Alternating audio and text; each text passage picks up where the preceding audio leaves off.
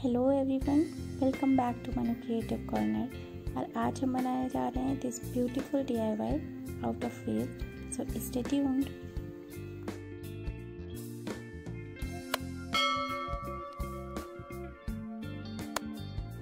for this D I Y मैंने ये old non stick pan use किया है, जो मेरे पास रखा हुआ था। इसकी कंडीशन बहुत ही ख़राब थी। तो मैंने इसका जो बेस कोडिंग है, वो स्प्रे पेंट से किया हुआ है। मैंने ये वाइट स्प्रे पेंट यूज़ किया हुआ है। अगर आपके पास वाइट स्प्रे पेंट नहीं है तो आप सिंपली अक्रैलिक कलर यूज़ कर सकते हैं वाइट अक्रैलिक कलर इसके बाद मैंने ओवरनाइट इसको ड्राई करने के लिए छोड़ा हुआ था।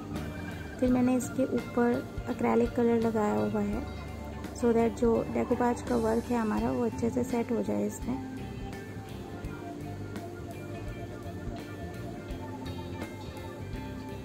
ये मेरा टैकोपाज का नैपकिन पेपर है। इसको मैंने वाटर एंड ब्रश की हेल्प से तैयार कर लिया है। इसका यही मेथड होता है। इसको आप कैची से काटेंगे तो वो अच्छा नहीं लगेगा। इसकी जो रफ एजेस होती हैं, वो सरफेस के साथ और कलर के साथ अच्छे से मिक्स हो जाती हैं। सो ये अलग से कोई इफ़ेक्ट नहीं देता है।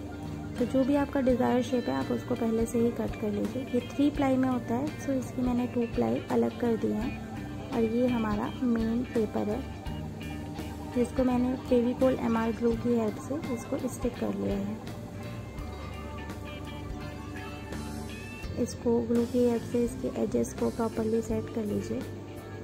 ये मैं फ़र्स्ट टाइम कर रही थी तो यहाँ पर मुझसे थोड़ी मिस्टेक हो गई थी। मैंने इसकी जो साइड कॉर्नर से वो बाद में वाटर की हेल्प से निकाले।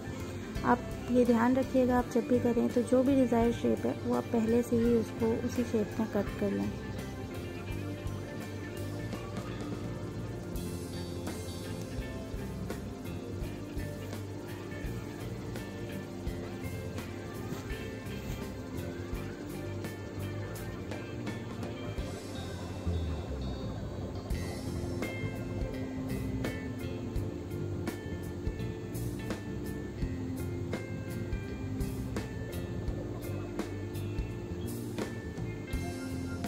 यहाँ पर मैंने फेविक्रिल का मॉड पच ग्लॉस यूज़ किया है। मैंने सिर्फ़ नैपकिन पे यूज़ किया है। आप चाहें तो ये स्टेप सबसे बाद में कर सकते हैं।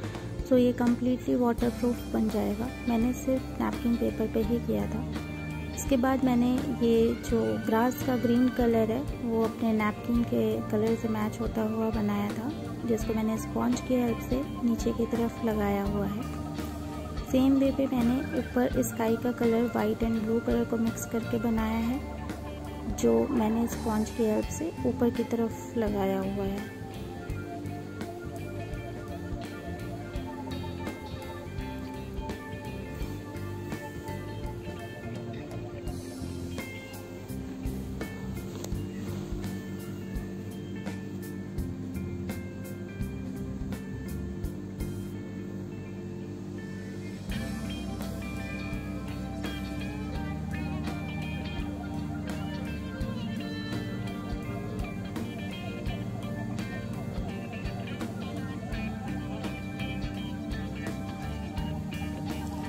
ये हमारा फाइनल आउटपुट है।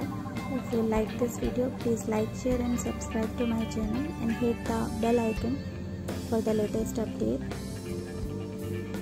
thank you